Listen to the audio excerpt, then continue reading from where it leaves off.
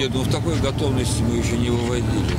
Готовность свыше 90%. Президент ПАО «Лукойл» Вагит Аликперов сегодня лично оценил, как продвигается монтаж верхних строений ледостойкой стационарной платформы и платформы жилого модуля месторождения имени Грайфера.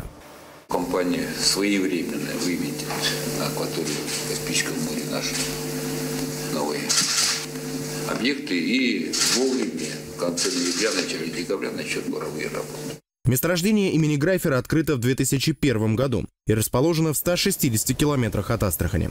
В Каспийское море один из объектов отправится уже в апреле, а первую нефть здесь начнут добывать в декабре. Ожидается более миллиона тонн в год. Завершены практически строительные работы по верхним строениям. Габельные площадки сегодня уже погружены, жилой блок погружен на баржу. Мы планируем жилой блок, блок смонтировать в мае, в июне уже отправить рабочую площадку. Мы создали штаб по э, организации вывода платформ на месторождение, поскольку это связано с проблемами прохода через Волго-Каспийский э, канал, где, вы знаете, э, проблемы, связанные с проходными глубинами, сегодня стоит очень остро. Мы эту проблему, проблему поставил, я эту проблему поставил перед президентом, получены соответствующие поручения, сегодня ведутся дноуглубительные работы.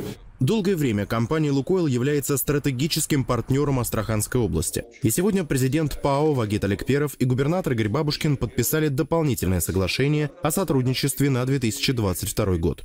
«Лукойл» профинансирует строительство ряда инфраструктурных объектов в области, включая физкультурно-оздоровительный комплекс в Икрянинском районе, а также оснащение объектов дошкольного образования в Харабалинском, ремонт общеобразовательной школы в Лиманском районе.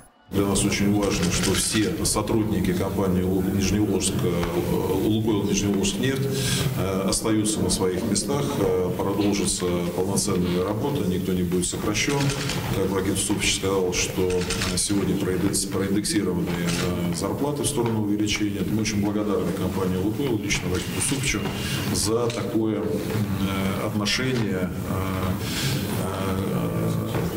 тем событиям и э, тем проблемам, которые э, находятся в регионах, в местах присутствия компании. Кроме того, компания продолжит оказывать поддержку региональному центру спортивной подготовки по гандболу «Заря Каспия» и проведет традиционный конкурс социальных и культурных проектов. Дмитрий Дубровский, Андрей Разумный, Алексей Поляков. Специально для программы «Региона Лукойла».